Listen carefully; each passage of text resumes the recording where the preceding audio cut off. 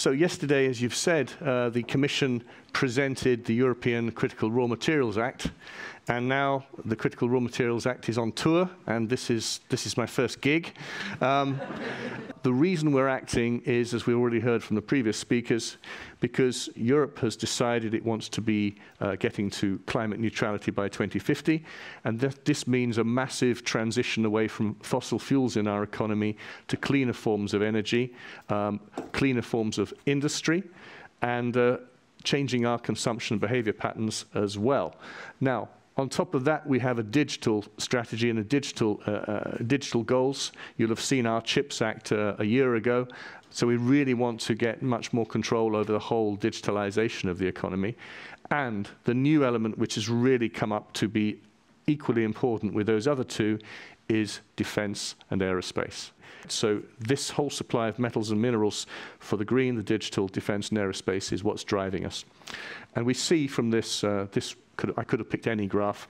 Um, there is an expectation that demand globally and demand in Europe for many of these metals and minerals will rise sharply in the coming decades, and there's going to be a very fierce competition for access to these resources. Right, so the, the purpose of our legislation is to ensure a secure and sustainable supply of critical raw materials for the Union.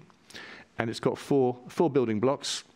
So strengthening all parts of the value chain, um, external diversification, better risk uh, assessment, risk mitigation through monitoring and similar actions. And then the fourth building block is circularity, resource efficiency, sustainability. We start off, with the very first article of the Act is uh, defining that objective of secure and sustainable supply, and then saying, well, how do we measure success? And measuring success is set in terms of, of um, benchmarks where we're seeking to improve our domestic capability in terms of our consumption. So we should try to uh, extract at least 10% of our consumption needs with domestic, uh, with domestic uh, resources, where we have those resources and where we can get those resources operational within this time frame. The second is um, we should develop and maintain and not lose our processing and refining uh, capacity in the middle of the value chain. And thirdly, we should develop our capacity to recover and recycle uh, these, these raw materials. The other way we measure success is diversification of supply. What the article, article says on this is we should be trying to source from several countries and not to have more than 65% of our consumption coming from a single country. That's going to be a tough, a tough one to deliver. Now, what we also do, the next provision is defining and limiting the perimeter of action. So there's a broader perimeter of action, which is uh, the criticality exercise with which you're probably all familiar. Um, and we've updated the assessment and gone from 30 to 34 um, uh, materials on that list. And that is for the whole economy. So what we need is a sharper focus on the things which correspond to our green digital defense uh, priorities. And we've come up with a list of 16 what we call strategic raw materials, where there will be stronger incentives and stronger obligations set out in our legislative proposal. Now, the first pillar is strengthening the value chain. And what you don't see on this slide, I think, is very important because we have put in there provision about exploration we are asking all member states to develop an exploration program to look at the potential they have in their subsoil for the decades to come. And we're saying, look wide in terms of the type of materials, because who knows what's going to be important decades down the road. Technology requirements change. And look deeper. Um, the next thing we say on strengthening the value chain is let's try and achieve our domestic capability uh, and our diversification goals through identifying strategic projects inside Europe and outside at the different points in the value chain, mining or extraction, refining and recycling. We will have a process to identify these projects. They will have to show that they're helping to meet our headline objectives, that they uh, tick the boxes in terms of environment, social and governance, they're technically doable, um, they have cross-border benefits and social benefits in the case of third countries. Um, and also we'll be looking at the financial bankability of these projects.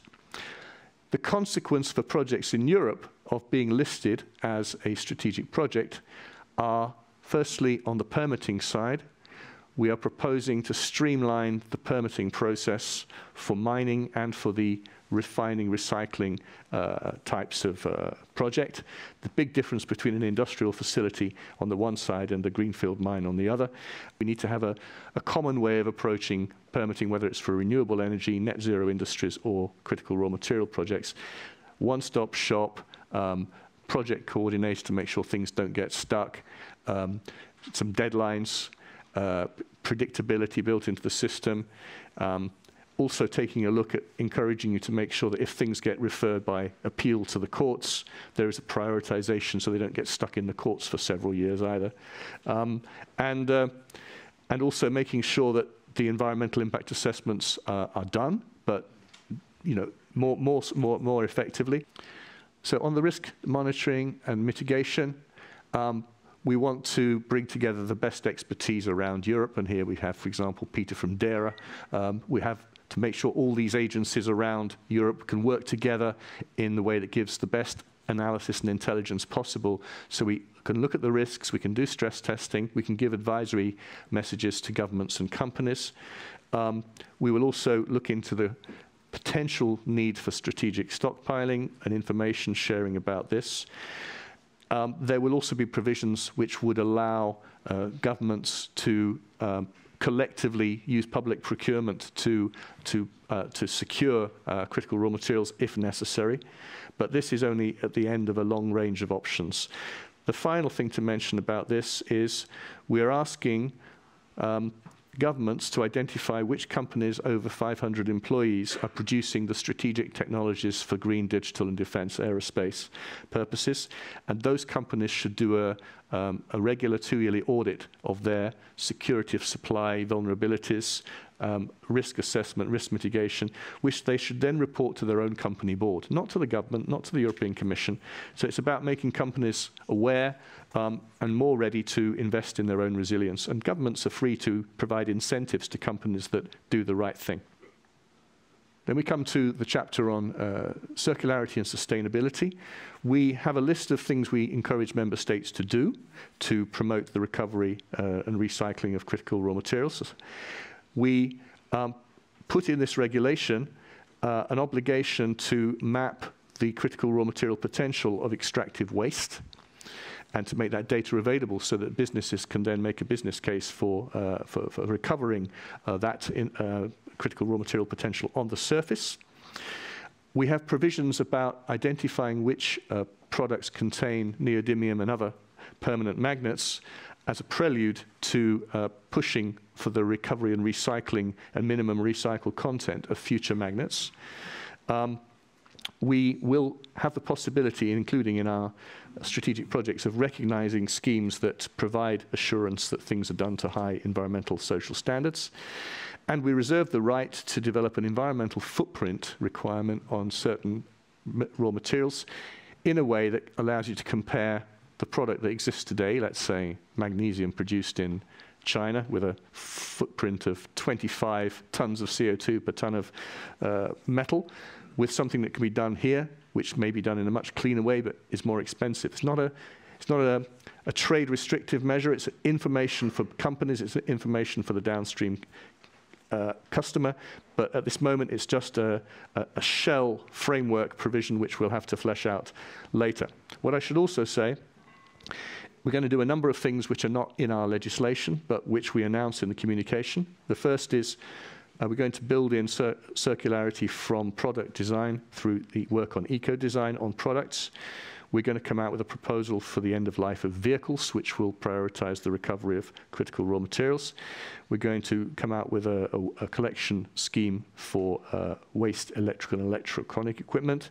We're going to add battery wastes like lithium to the list of uh, hazardous wastes annexed to the waste regulation. And we're going to introduce waste rules on the recovery of critical raw materials from wind turbines. So I think you can see we're really taking the circularity um, dimension extremely seriously.